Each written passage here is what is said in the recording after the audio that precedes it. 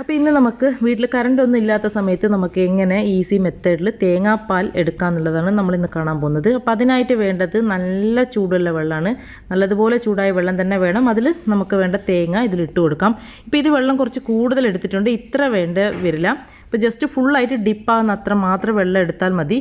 ഇതിപ്പോൾ ഞാനൊരു ബിരിയാണി റൈസിന് വേണ്ടിയിട്ട് എടുത്ത വെള്ളം ഇതുകൊണ്ട് തന്നെ കുറച്ച് വെള്ളം കൂടുതലുള്ളതുകൊണ്ട് എനിക്ക് കുഴപ്പമില്ല. അപ്പോൾ നിങ്ങൾ എടുക്കുമ്പോൾ കുറച്ച് വെള്ളത്തിന്റെ അളവ് കുറച്ചെടുക്കുക ഇനി ഇത് നല്ല ചൂട് തണിഞ്ഞ് നോർമൽ ടെമ്പറേച്ചറിൽ വരുന്ന അത്ര സമയം വരെ വെക്കുക. ചൂടൊന്നും ഉണ്ടാകാൻ പാടില്ല. നല്ലതുപോലെ ചൂട് തണിഞ്ഞതിന് ശേഷം വേണം നമ്മളിത് പിഴിഞ്ഞെടുക്കാൻ വേണ്ടിയിട്ട്. അപ്പോൾ അതിനായിട്ട് വേണ്ടത് നല്ല കോട്ടൺ തുണി. നോർമലി നമ്മൾ കോട്ടൺ തുണിയിൽ നിന്ന് പിഴിഞ്ഞെടുക്കുമ്പോൾ നല്ലതുപോലെ പ്യൂറായിട്ട് പാൽ എക്സ്ട്രാക്ട് ചെയ്ത് എടുക്കാൻ പറ്റും. അല്ലാതെ ഈ ഫിൽറ്ററിലൊക്കെ അരിച്ചെടുക്കുമ്പോൾ നമുക്ക് അത്ര ഫൈനായിട്ട് കിട്ടില്ല. ഇനി ഇതിപ്പോൾ നമുക്ക് മിക്സിയിൽ അരക്കുവാണെങ്കിൽ തന്നെ ഇത് തന്നെ. ഇത് കണ്ടോ?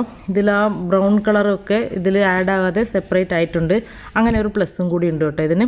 അപ്പോൾ ഇത് നമുക്ക് നല്ലതുപോലെ പിഴിഞ്ഞെടുക്കാം. ഞാൻ പറഞ്ഞായിരുന്നല്ലോ കുറച്ച് വെള്ളം ഇതിൽ കൂടുതലാണ്. അപ്പോൾ നിങ്ങൾക്ക് നല്ല കട്ടിയിലെ പാൽ വേണമെങ്കിൽ ഇത്രത്തോളം വെള്ളം ഒഴിക്കാതിരിക്കുക.